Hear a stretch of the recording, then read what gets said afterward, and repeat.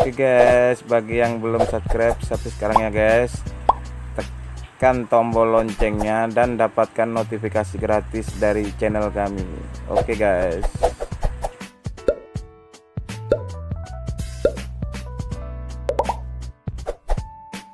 harta karun yang belum ditemukan hingga kini. Sedari dulu selalu ada cerita tentang harta karun yang dipendam dan disembunyikan di berbagai daerah. Entah itu hanya mitos atau memang benar ada, banyak orang yang ternyata terobsesi dalam berburu barang berharga yang tak diketahui lokasinya tersebut dengan berbagai alasan. Memang ingin menjadi kaya atau sekadar seru saja. Dari berbagai cerita, ada beberapa harta karun yang benar-benar ada dan sampai sekarang tidak ditemukan. Berikut ini adalah beberapa di antaranya. 1. Harta karun 5. Pada 1820, Kapten kapal Inggris William Thompson membawa kapalnya Mary Dear keluar dari Kepulauan Lima untuk membawa pergi barang berharga. Barang-barang tersebut merupakan harta Spanyol dan diangkut lantaran di Lima sedang ada revolusi. Namun Thompson dan krunya tergoda hingga berakhir membawa dan mengubur harta-harta itu. Kapal Mary Dear tertangkap dan seluruh kru dieksekusi, terkecuali Thompson dan kru pertamanya. Kedua orang tersebut pun setuju menunjukkan lokasi harta tersebut. Namun di tengah-tengah perjalanan, mereka melarikan diri dan tak pernah ketemu lagi. Hilangnya mereka sekaligus menghilangkan keberadaan harta karun itu. 2. Amas Nazi di Danau Toplitz Pada saat Perang Dunia II, Nazi menenggelamkan banyak kontainer dan barang-barang lainnya di Danau Toplitz di Rusia. Tidak ada yang tahu mengapa mereka melakukan semua itu, tetapi ada yang berpikiran itu adalah upaya Jerman untuk meruntuhkan perekonomian sekutu dengan nama Operasi Bernhard. Sejumlah penyelam diterjunkan ke dalam danau itu untuk mencari harta-harta tersebut. Memang ditemukan beberapa, seperti misil sampai mesin cetak, tetapi penyelam mengatakan mereka melihat adanya pesawat tenggelam di sana. Dipercaya di dalamnya ada lebih banyak harta yang berisi emas, berlian, dan lainnya.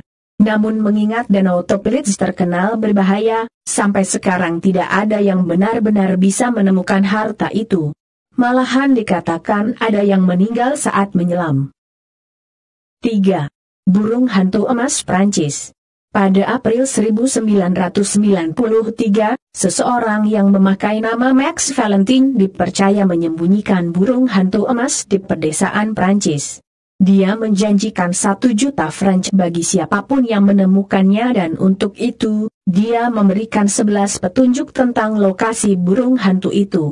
Sangat disayangkan pada 2009, Valentine mati dan berakhir terus menyembunyikan burung hantu itu. Lewat wawancara di 1997, dia mengatakan beberapa orang sebenarnya sudah sangat dekat dengan harta tersebut, namun mereka tetap tak bisa ketemu. 4. Harta karun El Dorado Pernah mendengar legenda El Dorado? El Dorado adalah nama yang diberikan oleh pemerintah Spanyol kepada kepala suku Muisca di Kolombia. Dikatakan kepala suku itu dilumuri oleh debu emas dan sering melemparkan harta-harta ke dalam danau Guatavita sebagai bentuk penghormatan kepada duanya.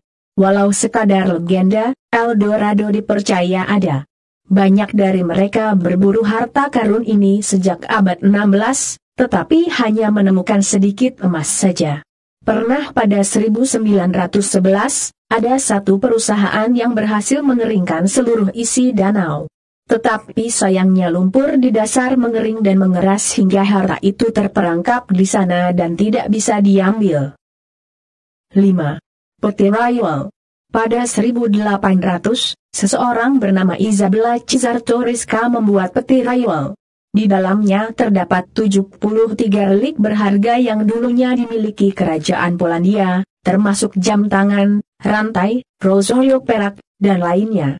Pada saat Perang Dunia II, peti mati tersebut dipindahkan ke Sieniawa, kota di tenggara Polandia. Sejak saat itu, tidak ada lagi yang mengetahui keberadaan peti itu. Beberapa rumor beredar kalau militer Nazi mengambil peti tersebut. Yang jelas, barang milik Isabella tak pernah ditemukan kembali. 6. Emas Leon Trabuco Pada awal tahun 1930-an, jutawan Meksiko Leon Trabuco mengatur sejumlah penerbangan misterius.